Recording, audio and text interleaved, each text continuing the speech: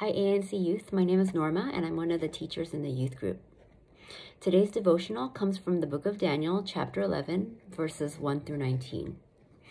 In this passage, Daniel receives a revelation about the rise and fall of a number of superpower empires in the centuries to come.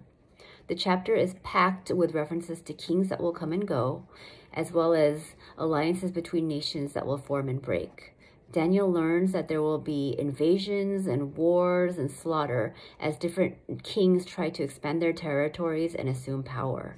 And in the midst of all of this struggle were the Jews who were living in exile in Babylon without a home and who must have felt like pawns in the middle of all of these endless wars. Yet they still clung to the hope that God would one day redeem and restore his people.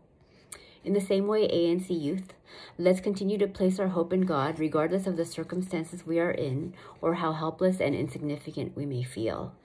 It's been a hard and challenging year living through a global pandemic and feeling like our lives have been totally upended.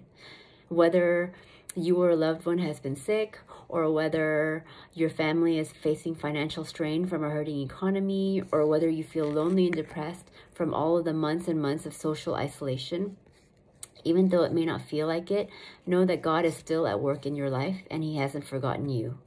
In the same way that God promises to redeem and deliver His people in the very next chapter, even as they are caught up in all of these endless wars around them, God promises to care for you personally and to restore you whatever your current situation may be. So I encourage you to put your hope in God and in His promise. Lift up your struggles to Him because He hasn't forgotten you. Thanks for listening and have a good day.